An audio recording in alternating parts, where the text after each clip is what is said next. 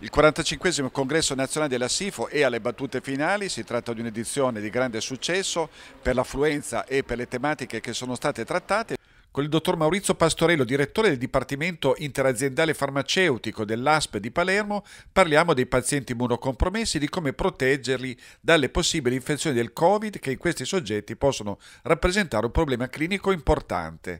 Dottor Pastorello, perché il paziente immunocompromesso di fronte all'infezione da Covid è maggiormente esposto ai danni della malattia e come fare per proteggerlo? Si può utilizzare il vaccino o ci sono altre modalità?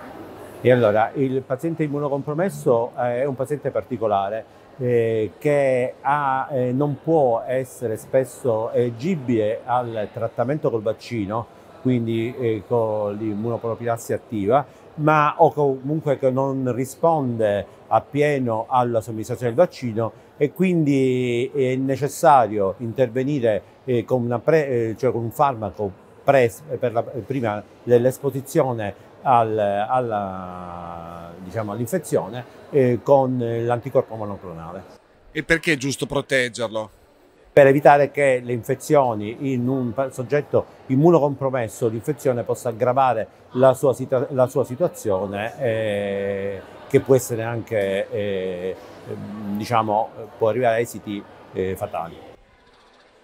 Senta, quindi eh, dato che i pazienti immunocompromessi nell'ospedale possono afferire a tanti reparti, quelli oncologici, quelli ematologici, alle volte anche quelli reumatologici, quindi il paziente è un po' sparso nell'ospedale, quindi c'è una tematica organizzativa direi piuttosto importante che voi avete affrontato in un progetto molto interessante che si chiama Prevention Management Lab, no? che si è occupato proprio di queste cose. Allora, innanzitutto c'è il tema di individuare il paziente, del reclutare il paziente giusto, perché non tutti poi hanno bisogno di questo tipo di protezione. Come fare per individuare il paziente? giusto? Uh, chiaramente lo specialista sicuramente interviene perché è quello che è più a, a contatto con eh, il, il, paziente, ma sicuramente è necessario creare un percorso che preveda eh, anche la presenza del medico di medicina generale, ma anche del farmacista. Il farmacista con eh, a seguito eh, ha le banche dati, quindi ha i flussi della farmaceutica e quindi dai flussi dei farmaci che il paziente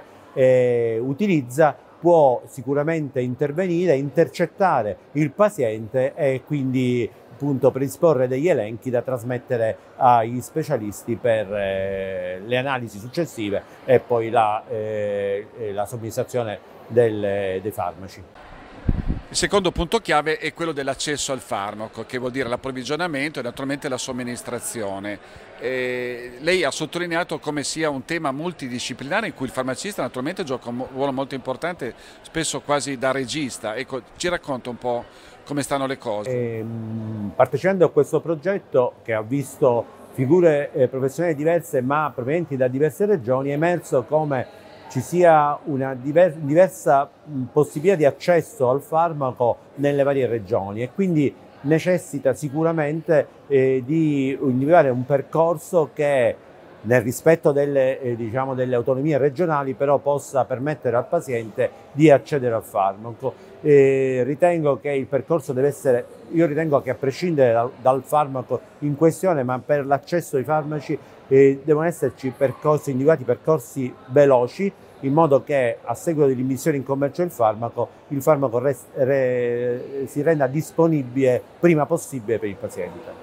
Perché lo ripetiamo, il paziente immunocompromesso, se si becca l'infezione da Covid, rischia grosso. Assolutamente, assolutamente sì, quindi la preesposizione in questi pazienti sicuramente immunodepressi, sicuramente importante e fondamentale.